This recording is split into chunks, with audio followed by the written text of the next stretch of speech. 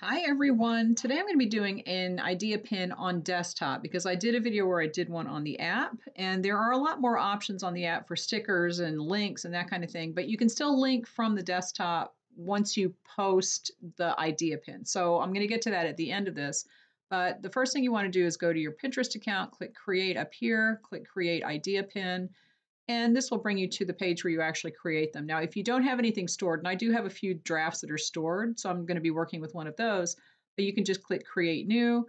And you can either use the URL, which will then pull pictures in from that URL, which may or may not be the best idea depending on what orientation they are. If it's the long pins that Pinterest likes, that's fine. If they're shorter, eh, it's better to make a pin that actually fits so that Pinterest likes it more. And they will still show product pins and that kind of thing, but it's better to have an assortment. And if you're going to create a pin, then it's, you know, just make one, just make one yourself. So you can search for your pictures here, or you can do this and see they're using, they're, they're recommending that you have the size. You don't have to have a specific size, but it's better to have a two by three orientation so that it's short and it's longer on the side. And that's basically what Pinterest likes. So I have already uploaded some. I'm going to, actually, I'm going to do this one because I have the link for this one. Oh no, it's this one. Never mind. So I have a few, and they'll store these for 30 days. So you see it says three days until expiration. So I need to come in here and post these, or Pinterest is going to leave them.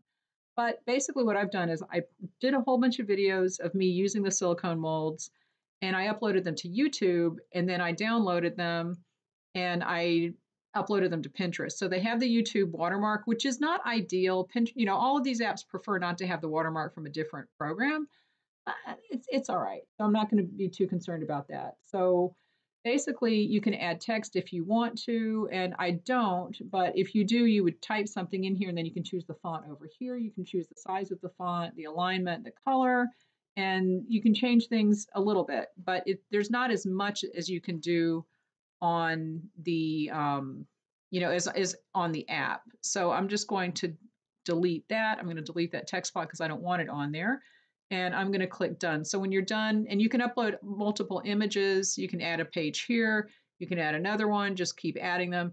And I think you can do 20. So you can do a lot of pictures if you want to do that. But on the desktop, there's no way to control how long they're showing for. And it's a five second default. And that's kind of long for this kind of thing. So just be aware of that. And we're going to click done. Now, I will say, I say that, but I will say that things change a mm-hmm. lot on Pinterest. So it could be that they'll add more things to the idea pins on desktop, but I doubt it. Anyway, all right, so I already have the title. I've already got the board that I want to tag um, or pin it to. I've got, um, let's see, I've got all of the tags here. Now for tags, you just start typing and see what comes up and just choose something that fits. Be, don't you don't have to be 100% accurate. Like they're, they're not going to have a tag for C or for sand dollar silicone mold. They're just not going to have that. But they might have one for under the sea cake. Let's see, under the sea cake. They have one for mermaid party. So yeah, I'll put that on there. Okay, but it doesn't have to be ex exactly right, but just put things that would be appropriate. You can let people comment or not. I always just turn it on, but if it got spammy, I would turn those off you don't really have to answer comments, but sometimes people do ask questions. So if you don't want to answer questions, just turn that off. Add the details here. And I just always choose notes because it just gives you a blank format and it, it will try to give you bullet points, but you can just hit enter twice and it'll turn into a paragraph. So there's that. And then advanced options, you want to make sure that this is toggled off because if it is on and it's on by default, Pinterest will show other products that are similar to this, and they might not be your products, but those will be attached to your pin, and you want to go in and make sure that those are turned off so that other products are not attached to your pin. All right, so when you're done, click Publish. This will upload it. Now, I only have one page. They call each picture a page, and this is a video, so that's okay. If it was just a still photo, it's not the best to only have one, an idea pin, but it's all right. It's a video. People will watch it. And I'm now going to edit this. I'm going to go to edit the pin and I'm going to add the link. And this is the link on my website that will take you directly to that listing. Okay. And this looks like it's going to, let me see if I can save that. Okay. The little pause button for my video recorder was right over it. So hit save and now it's edited. And now the link here will go directly to my website, the listing on my website that is for that sand dollar mold so people will be able to go directly there from the pin. So that's basically how to make a, an idea pin on Pinterest on desktop. You see that you don't have the stickers, you don't have the, the same text options. It's, it's a little bit different. You don't have the audio, you don't have the music. But if it's just a, a video and that's it, or it's just a bunch of pictures, it's okay.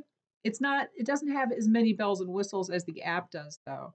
But you do have to come, as far as I my account is concerned, you do have to come into the desktop anyway to add the link because you can't add links directly from the app at this point on my account. Some other people do have it. Pinterest tends to roll things out at, at different stages for different people and different accounts. So eventually, this will be completely different. When you come in here and you hit this create button, it might look completely different. But don't worry about it. Just kind of poke around, you'll be able to find where things are, and it'll work essentially the same way. So that's all. Leave me any questions, and I will talk to you later.